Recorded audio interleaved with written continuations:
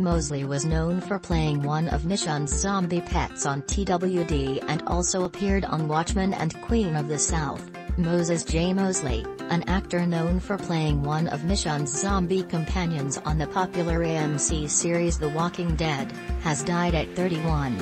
His manager, Tabatha Minchew, confirmed to With that the actor died in Stockbridge, Georgia, near Atlanta. According to TMZ, which first reported the news, Moseley was found dead Wednesday and police are investigating the circumstances. Moses was an amazing person with amazing talent, Minchew said in a statement Monday. He is definitely gone too soon. He was loved by everyone who met him, I had never seen him anything but happy. Everyone is still trying to wrap their heads around this, he will be missed deeply.